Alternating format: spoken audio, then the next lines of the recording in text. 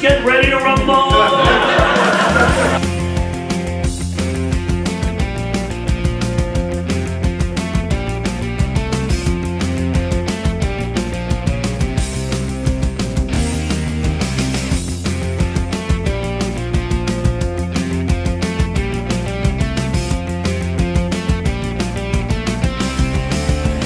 The correct terminology is striving in excellence.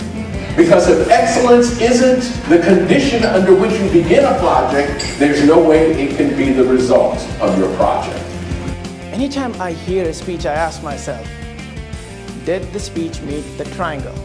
The triangle of structure, story, and personal connection. Theme had great possibilities, as our keynote speaker also had a point on that. When you are a public speaker and you're standing on a stage, you want to connect with everybody out there in the whole room. Suggest is your hand placement. I know a lot of people, including myself, have problems. What do you do with your hands? Wouldn't it be great if this big, powerful man could also root himself, plan himself, and deliver the joke?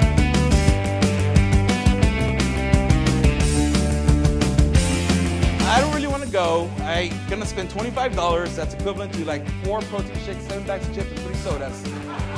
You know, you ever work with somebody who makes you laugh, you work with another person who doesn't make you laugh? You want to hang out with that person who makes you laugh.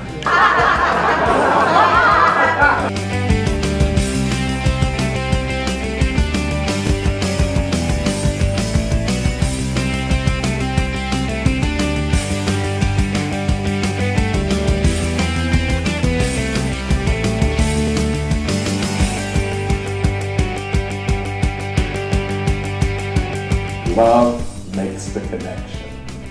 And he said, love is giving, love is enduring, love is transforming.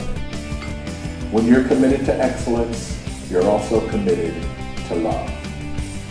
As we work together in Toastmasters, we cannot help each other as evaluators, as judges, as leaders, unless we can love.